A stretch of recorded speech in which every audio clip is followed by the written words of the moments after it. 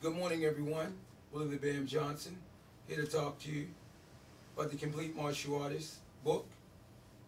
And we were talking about the universal principles. And we're on principle number three willingness. Willingness to me is faith. The ability to let go and let God. Go out on faith. Believing in the unseen that was so important for me because all I seen in my environment was chaos, negativity.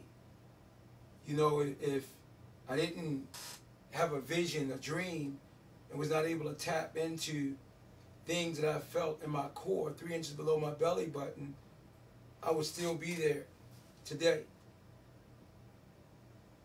In that jail cell, I had to do the exact same thing. You know, I remember um, when I finally decided not to proceed forward with ending my life, okay, now it was time to move on and live. But man, I had to block out them four walls. I had to block out what was happening at home.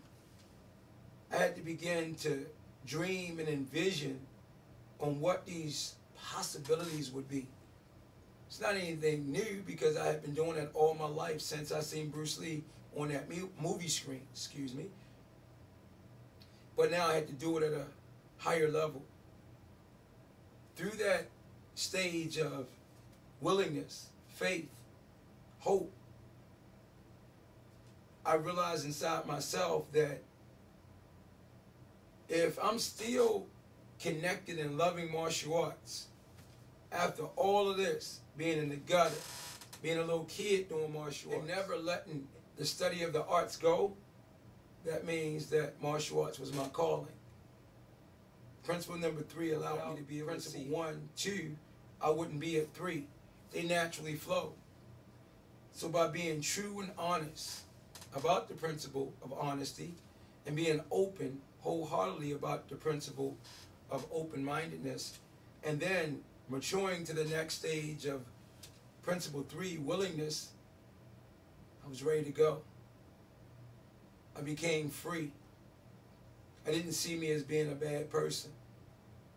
And when coming home as well with that $20 in a dream and getting custody of my son and believing that I would now open up my own business after all those failures of running a school since I was 17, I worked on in jail that I would take all the things that I did not do. I probably didn't know what to do, but I would have enough faith in doing the opposite of what I did do to reap the benefits. And it didn't matter. John Maxwell said, let's fall forward. Well, falling forward to me is encountering new challenges, going down a new path, trying it differently, continuing to press forward. And guess what?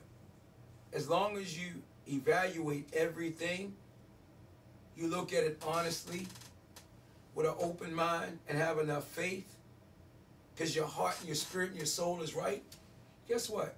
You're going to learn from it, and it will become a stepping stone for you to take it to the next level. And that's what happened with me with my business. When I opened up the BAM's Universal Martial Arts Concepts with no degrees, no help, because remember, nobody was really trying to help me. Even making it on the TV show, I had to look at the steps that I had taken way before then that to most were considered failures, but were stepping stones because I evaluated them. I just did the opposite, and look what it did. We have a school, been open for 18 years.